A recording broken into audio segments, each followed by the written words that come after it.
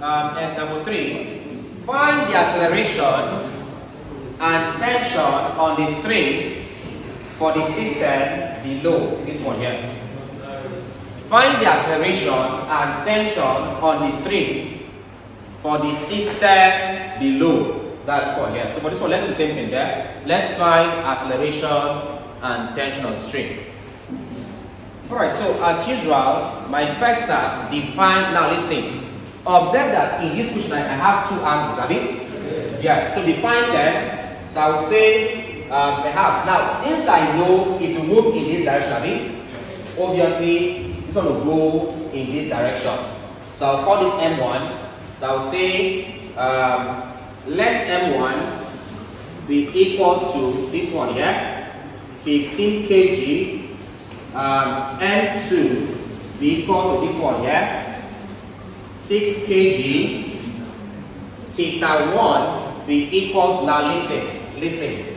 Theta 1 must be equal to the angle of M1 if I'm calling this as M1 I cannot call it theta 1 please theta 1 must be the angle of M1 that's what eh? there 50 degrees and theta 2 is equal to this one, yeah? 30 degrees. I.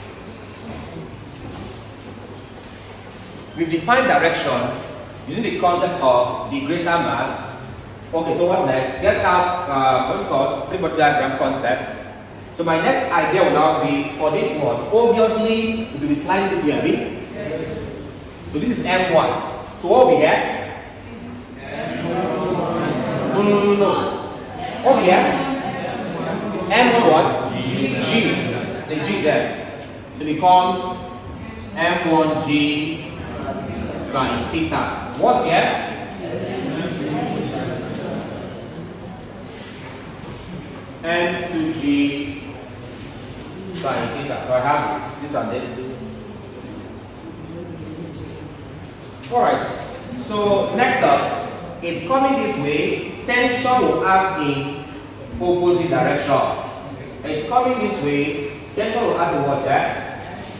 Opposite direction. This becomes T and T. Please, we'll be doing more examples. We've looked at one is one angle. We're now looking at two angles. So look at T1 and T2. What if I have two different rooms? What do I do? What if I have three different rooms? What do I do? What if I choose to connect a second row to this? That's this room and this room. What would you do?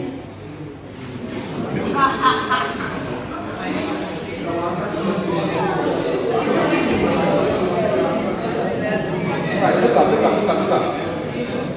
Let's now draw, are there. Go they are there. Let's draw free body diagram.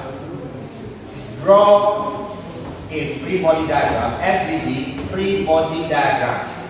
Let's start with this one here. For mass M1, for mass M1, what have I got?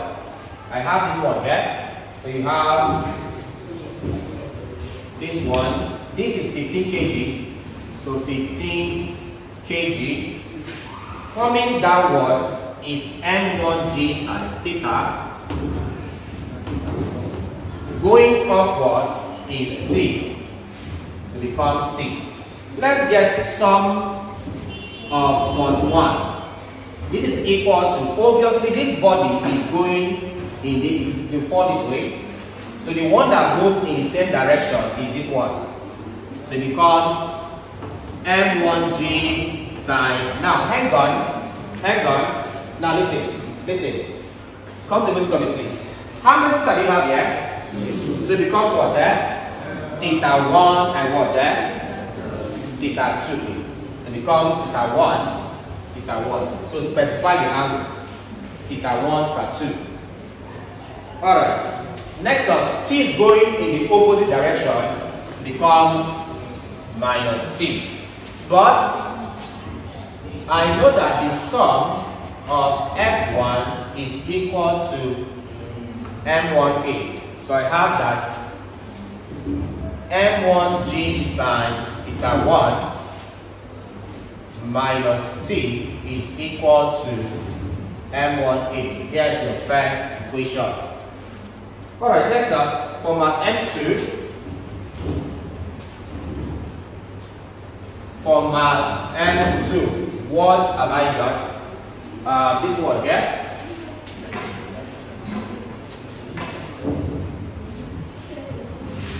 This is 6 kilogram down and up. Up here is T, tension. Down here is M2, M2G sine theta 2. So get the sum of F2. That will be equal to, now look at this. This body, since one is coming down here, this one has to move in this way. So this body is going this way. So that means this one becomes positive, same direction. That becomes T minus um, opposite direction.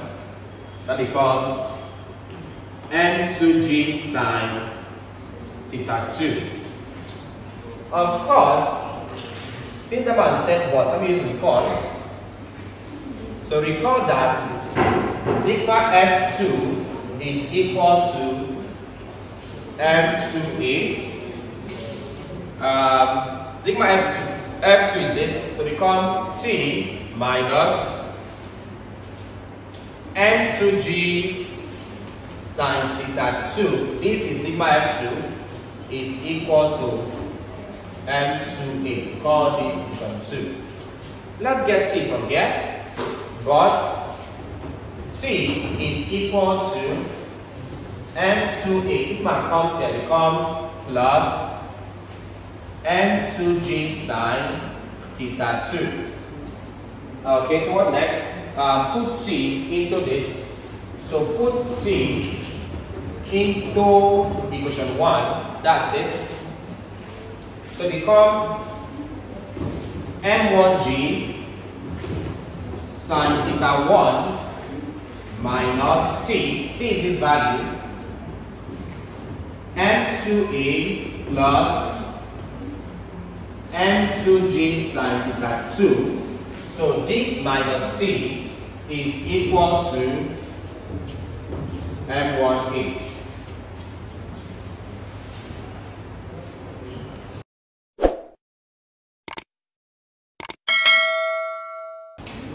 So expand this, it becomes m1g sine theta 1. Alright, so minus to this minus M2A minus M2A minus this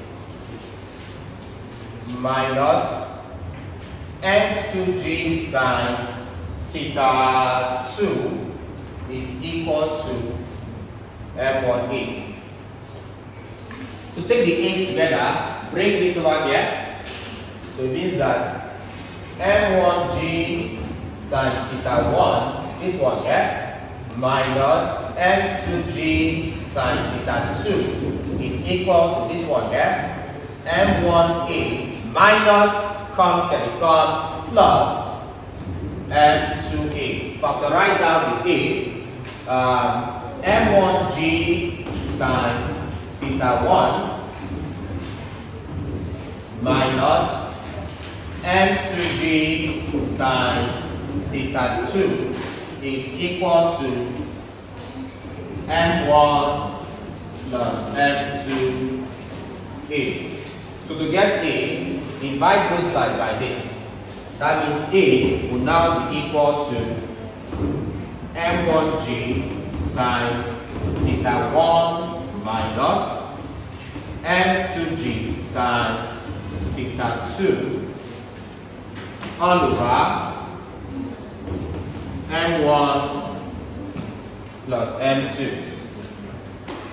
Alright. So A will now be equal to, please help me big values please. What's M1? 15.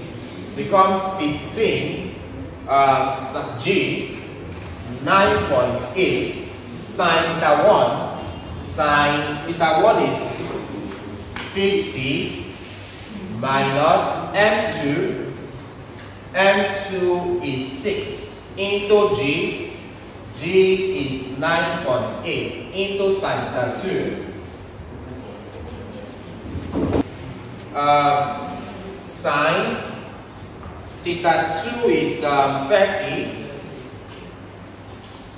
all over m1 plus m2, 15 plus 6. So A is equal to, please punch all of this. What do you get? Sorry? Point two one approximately. All over what there? So A is equal to what you get? 3.96 meters per second square. Let's get tension please. So that's your value for acceleration. For tension, for tension, please help me recall any of the equation please. C minus m2g sine theta 2 equal to what there? Alright, so let's get T here. Simply move this man over here. So it means that C is equal to M2A minus comes here plus M2G sine theta 2. This one comes and becomes positive. So T is now equal to the input value M2 times A. M2 is 6. 6 times A, A is this 3.96 plus M2. M2 is 6 into G 9.8 into sine theta 2. Theta 2 is 30. Becomes 30. Please give me this one here. What do you get there? This one here. 23.76 plus, I think 77. I wonder how you got the extra one from. Point is what do you get? 29 points. 9.4. Right. Um, C is equal to sum these two. Sorry? 53 points. 1 6 Newton. Alright, so that's how it's done. This is how you solve this question.